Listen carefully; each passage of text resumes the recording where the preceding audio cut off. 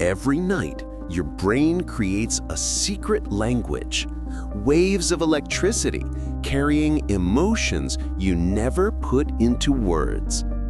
Today, a breakthrough AI called DreamNet is learning to translate those silent feelings, even while you sleep. Welcome to the future of emotion decoding.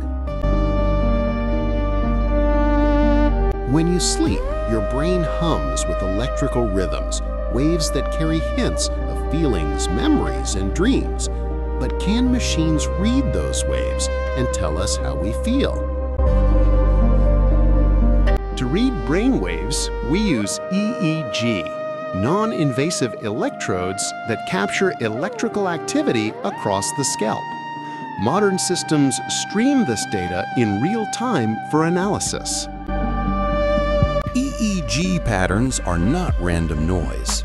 They contain structured events, spindles, slow waves that mark stages of sleep and hint at underlying cognitive processes, including dreaming.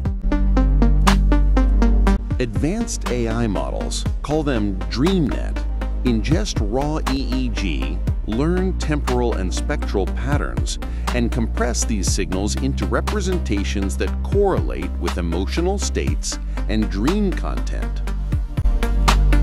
By training on labeled data sets, EEG paired with self-reports and physiological measures, AI can learn to place brainwave patterns onto an emotion map, estimating how you felt while dreaming.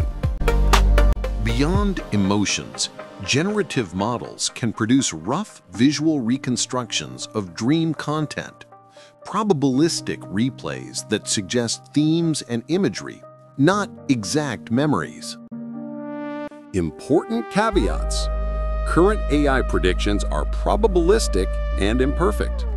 Validation requires careful labeling, participant consent, and transparency. The ethical questions, privacy, misuse, and consent are as real as the technology. AI gives us powerful tools to peek into the sleeping mind, revealing emotions, themes, and possibilities. But with power comes responsibility.